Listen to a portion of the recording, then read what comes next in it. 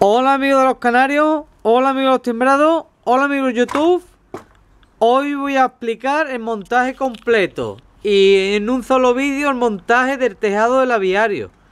Esto es una muestra y os lo voy a explicar por qué he escogido estos colores y en qué consiste. Esta es la chapa que voy a poner. La chapa pega muchísima calor y más en el verano en el sur.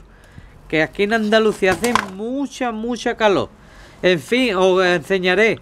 Esto es, normalmente se le llama chapa sandwich, por si no lo conocéis.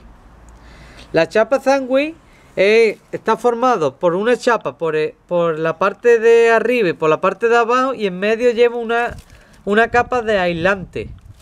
Es decir, aquí esto sería la parte de arriba, donde está lloviendo y caen las aguas. Aquí tiene una abertura y por aquí caen las aguas. Obviamente, para poner los tornillos, en vez de ponerlo aquí, lo pondremos aquí y con silicona. Que en, vídeo más, en el próximo corte veréis el montaje y os lo enseñaré.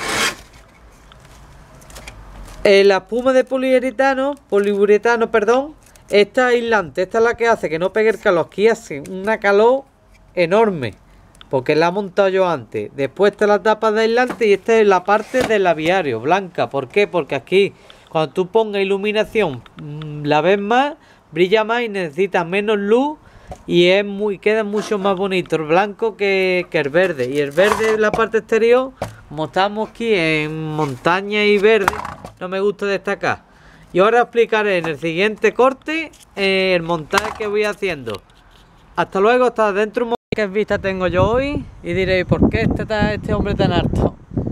Estoy colocando lo que es el tejado del aviario.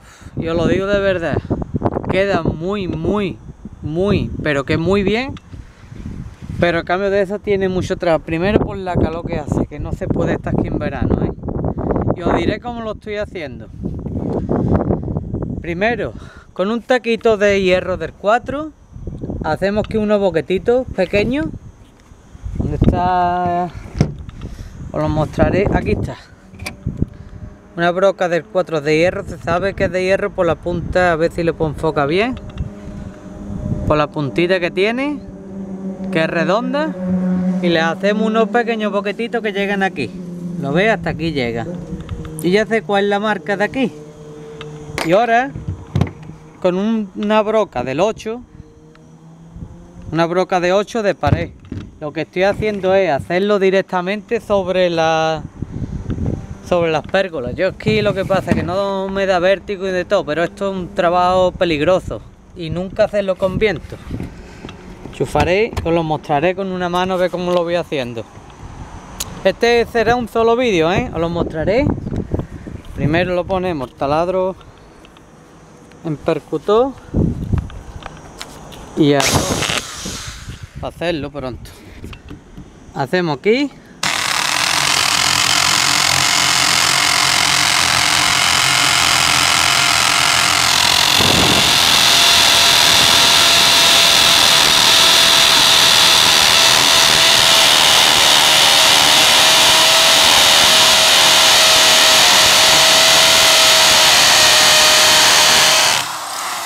el taco y dejarme que lo haga todos los tacos y ahora lo mostraré cómo lo pego y cómo queda ya al final. Yo lo mostraré por la parte de abajo del aviario. Hasta dentro de un momento. Se ha manchado la lente y os explicaré. Hemos metido estos tacos del 8. ¿Lo veis? Por aquí debajo. Hemos marcado. La situación lo ve con esta línea aquí, aquí para que coincida. Y ahora hemos puesto unos taladros de prueba que es ahí y en la punta y entran bien. Esto tiene los 3 centímetros de la chapa sandwich, con la mostraré en breve, más los del taco. Y viene cogida perfecto con una arandela y con silicona, se quedaría así, como esto de aquí. Esto por aquí, cuando le caiga el agua es que no me entra, es más, cuando se termine hay que probarlo, que lo mostraré todo poco a poco. Y os lo voy a mostrar rápidamente cómo lo voy haciendo silicona. ¿Lo ves? Y le echamos aquí. aquí lo que pasa es que se está secado. Un momento. Quitamos esta silicona vieja. le echamos silicona ahí. Silicona, sin... ¿Lo ves? Todo lleno. Con la arandela y con todo, para que se meta por dentro. Ahí. Este le quitamos seguro para que no puse más silicona. El mismo taladro lo hemos preparado ahora para atornillar. Y con la arandela pega un pellizco y ahora con la silicona cerramos. Y ya está cogido lo que es la chapa sándwich a las vigas de hormigón. Y no hay que ponerle hierro, patatín, patatán, nos ahorramos tiempo, dinero y eficacia, porque no es lo mismo cogerlo esto a un hierro que cogerlo directamente a la a las pérgolas y las pérgolas cogía un hierro y después tiene más fallos de sujeción. Y así ya lo terminaré y os explicaré la chapa que estoy poniendo y la terminación que también la cortaré todo rey y la veréis desde abajo. Hasta dentro de un momento otra vez.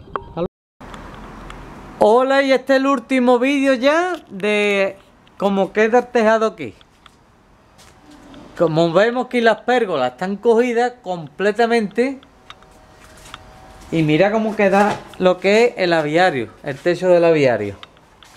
Estoy, os lo digo de verdad, orgulloso de mí mismo.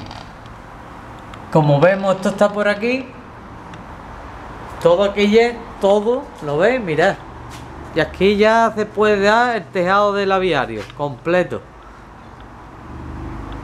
Esto es chapa sándwich, se nota mucho el cambio ya de temperatura desde abajo arriba. Y ahora esto hay que cerrarlo completamente de cristalera. Pero mira qué tejado queda. De 3 centímetros de grosor de aislante. Estoy muy, muy, que muy orgulloso de ello. Y en fin, y ya en el próximo vídeo espero ya desmontar lo que es luz y agua y la cristalera. Y ya tengo mi, mi aviario completo. Los voy a hacer una imagen de aquí desde lejos para que veáis cómo queda. Aquí, aquí se ve perfecto. Y ahí ya lo cerraré y pondré sus ventanas y su cristalera. Así que espero que os guste. Si tenéis alguna duda, ponedlo por aquí debajo en los comentarios. Lo intentaré ayudar. Hasta otra amigo de los canarios, hasta otra amigo de los timbrados, hasta otra amigo de YouTube. Hasta otra. Adiós.